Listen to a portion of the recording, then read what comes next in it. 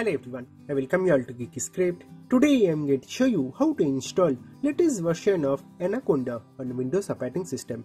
And after that, I'm also going to show you how you can easily launch both Jupyter Notebook and Spyder ID from Anaconda Navigator and how to use both these two products. So this video going to be a bit long but I can guarantee you if you watch the video till the end, you will be learning a lot of new things. So first go to favorite browser and to type over here Anaconda download. So that will show you this anaconda.com as a first search result. So just click on this download anaconda distribution. So that's going to redirect to the official site of Anaconda. So this link I'm going to provide right in our channel description. Here you need to, uh, you can always provide your email ID and you can register it or else you can just simply skip your registration as well. So for that you need to click on this skip registration so I'm going to skip registration and going to show you this download now page. So here you can see under distribution installer we have this windows mac os and linux. So we have anaconda available for all these three different operating systems. So for windows i'm going to expand this and i'm going to click on this button of 64-bit graphical user 914 MB file and immediately you will see it is rightly started downloading I have already downloaded it so that's why I'm going to cancel this. I'll minimize my browser I'll go to my download directory and here you can see I already have Anaconda 3 2025.06 already downloaded over here and the file size is 914 MB so just simply double click on that installer. So welcome to Anaconda setup. So you can minimize your download directory and click on next over here. So you can accept this license agreement and here it is telling whether like to install it for just you or just for all users. So just me is recommended so i'm going to proceed with that only. So i'm going to click on next. So this is where our anaconda is going to be installed and you can see total space required is about 5.2 gigs. So currently i have 96 gigs free so i have sufficient amount of free space. So you need to just verify that once and then you need to click on next Next, it will give you some checkboxes. So here I will always recommend you to select this third option. So that is register Anaconda 3 as my default Python 3.13. So that means it's going to register this product Anaconda 3 as a default Python. So it's going to also allow other programs such as Visual Studio Code or PyCharm etc. to automatically detect Anaconda 3 as their primary Python 3.13. So that's a recommended one as well. So select that and then click on install. So that's going to immediately start installing our anaconda. So it's going to take some time couple of minutes. So let's wait for it to get installed. And by the time it get installed i'll request you since we are talking about python i have already created this cool python project playlist. So you can check out all these different projects that i have created over here. So you can build your very own rock paper scissors game that too I've created on Python. You can deploy any Python Flask web app to some server and that too for completely free. You can create your very own resume. Just imagine using Python you can create you can create an application which will have all forms and everything so you can fill up those forms and by just clicking one button it's going to create a resume just like the screenshot that I have attached here and, and here so this is a desktop application and this is a web app so that's the only difference but backend logic is same. So you can literally follow all these videos all right? So you can check out check this out. And the best part is detailed source code what i have showed you over here are also available on our official geekyscript.com website. So for example for this video of rock paper scissors game along with detailed explanation you are going to also get full source code. So you can directly copy and paste it and you can you know create your very own project. And you can follow the tutorials from this video. Alright so I'll just post all these video links right on our channel description. So you can check that out. So here let's wait for a few more minutes. And there you go. So you can see that our anaconda is rightly installed.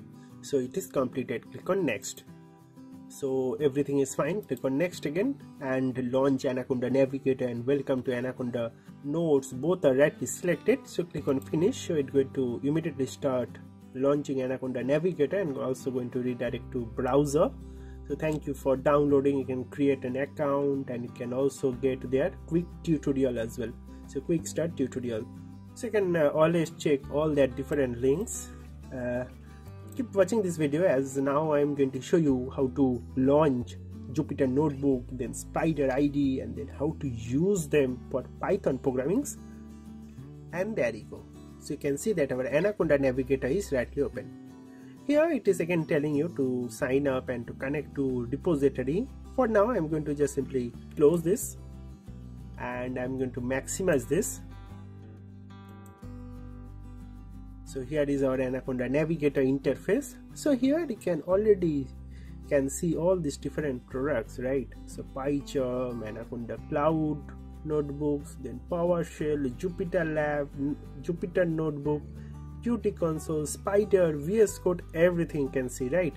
Including python anywhere then orange 3 RStudio. So in my previous videos if you check out on our channel you will see videos about RStudio python anywhere then Jupyter Lab, Jupyter Notebook, PyCharm, VS Code. You know, you can you can already check out all these videos that are available on our channel. All right. So now what I'm going to show you is I'm going to show you this Jupyter Notebook. So you can click on this launch button. So that's going to launch our Jupyter Notebook. So it's going to redirect to your browser and going to open on our local host Jupyter Notebook so here you can create your very own new Jupyter Notebook page. So you just simply click on new Jupyter Notebook. So Python 3 IPY kernel and uh, that's going to open a untitled IPYNB file. So there you go. So here you can uh, write your own Python code. You can write machine learning project also here as well. So I'll start something like with hello world and click on this run button and you can get the output coming over here. So you can start with Jupyter Notebook. In this way by launching it from Anaconda Navigator next I'm going to show you about this spyder ID so I'll just simply click on this launch button and it's going to start launching our spyder. So you can see that our spyder ID is rightly started launching version 6 here you can just simply click on no and our spyder is almost rightly open. So welcome to spyder id and it is rightly started to connect with the kernel. You can uh, dismiss this tour as now i'm going to show you how to run python programs on spyder id now. So it already opened one temp file. You can close this. You can create your very own file by clicking on this button. So that will create an untitled file so let's do the same thing like uh, like you have done on Jupyter notebook. So let's print something first. So hello world. So write something like this and click on this run button. And you are getting the output coming over here right? Hello world. So you can do all the things that you know python supports. You can write machine learning code. You can print summation of these two number. So like print a plus b so that going to print 6 plus 7 that is 13 so let's make it 14 all right. So 7 plus 7 14 so you can get you can get that output. You can also check out their variable explorer window. So it shows which are all variables like a and b and what are all values that are assigned over here along with their type and size everything. All right so you get a lot of benefits when you use spyder id all right and it is extensively used for data science machine learning and artificial intelligence project.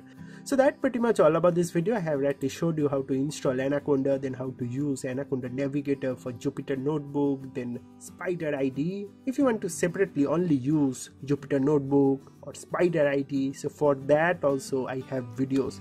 So you can just follow this video on vs code playlist. So here you can see I have showed you how to use a Jupyter Notebook on VS Code. Similarly, you'll also get a video on how to use a Jupyter Notebook on PyCharm as well. So you can check all those different videos on our channel. Alright, along with if you want, you can also check this cool Python project playlist. I'm sure you're going to love them. So yeah, so that pretty much all about this video. Thank you very much for watching this video and God bless you all.